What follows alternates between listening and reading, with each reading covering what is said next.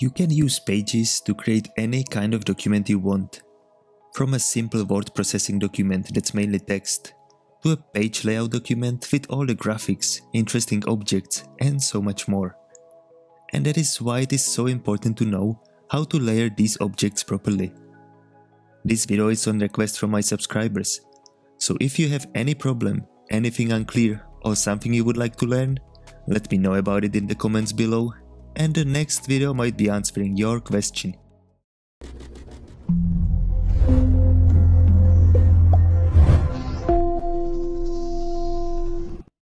In this video, I will show you how to layer objects precisely and how to combine them in order to create some new shapes.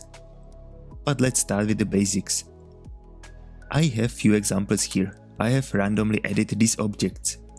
If I drag the second one over the first one, it goes above it and the third one goes actually under. But I have full control over that. I can choose which one of these overlapping objects will be visible on top. To do that you have these 4 buttons for it in the align section. So to move an object one increment at a time, you have to click forward and backwards. So now it will move behind the other object when you press it. For example I click backwards on the green one and it will move behind the black object. To make sure the first one will always stay on top of the stack, I can use the other button, which says front.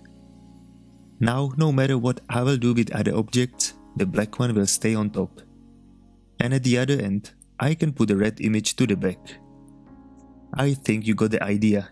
Now I can just place the objects over each other and use the forward and backwards button to sort the stack one by one. Now when I'm done with it, I want to actually move it aside, work with it as one picture. Yes, you can just select them all, but sometimes you miss one and it will break the whole setup you had before. The best way is to group objects to be able to easily move them, resize or rotate. They will behave like a single unit. So let's do it now. You can select multiple objects if you hold the command key down and then click on them. After that, control click or right click one of the objects and choose group from the shortcut menu. It's the first option on top of this context menu, so it makes it easy to use. You have the same option on the arrange tab in the sidebar, but this is faster technique. Now it will behave as one object which you can easily move somewhere or resize it. And of course, the same way you ungroup it, just right click it again and select ungroup.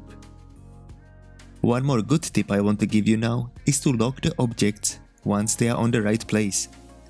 Because when the object is locked, you can't move it, delete it or modify it until you unlock it again. So in this case, it will not move unintentionally. To do that, just click on the object to select it, or you can select multiple, and then click lock or unlock. It's near the bottom of the arrange sidebar. You can also choose lock from the arrange menu at the top of your screen or Command L shortcut.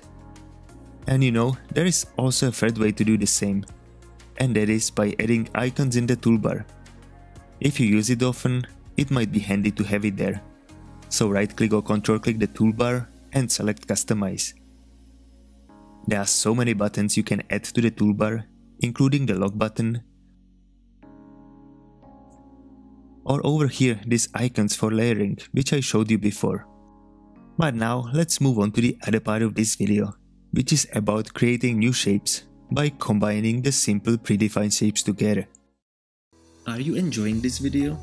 I have created a complete mastering course with more than 100 video tutorials. Pages is really important app for every Mac user and if you want to find out all the hidden features, this course will be a great guide for you.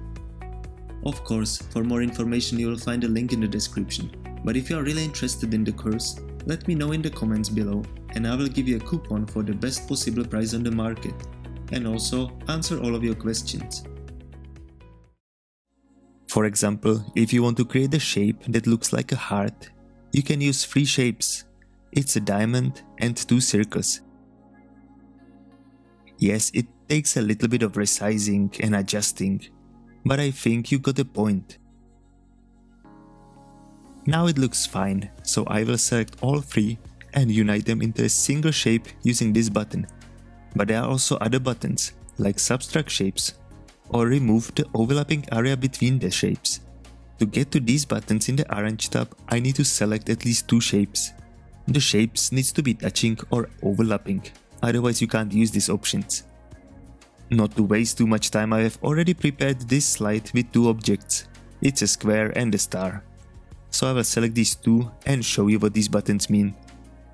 Unite we already did before. It just combines the selected shapes into a single shape. Intersect will create a new shape from the overlapping area only.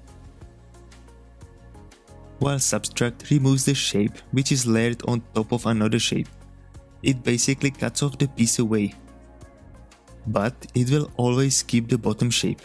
So to choose what shape is going to be removed, you have to layer it correctly. If I put a star on top of the square, it will cut it inside of the square. And now the last option is exclude. That will create a new shape that exclude the overlapping area between the shapes. Now we have the definitions done and I have some examples here to show you. These are objects created by combining standard shapes. If I double click it, I can normally split it and see from what objects it was done. For example this tube, it's not a simple cylinder from the shapes. It's different, you can't make the top to have different color of the standard shape. It is again combination of different objects from the basic category. If you want to know more about these objects, let me know about it in the comments below and I can make another video and show you how these objects are done. Also, as I mentioned in the beginning of this video, if you have any question, don't hesitate to ask, because next video on this channel might be answering your question. Anyway, here is Luke and I will see you in the next video.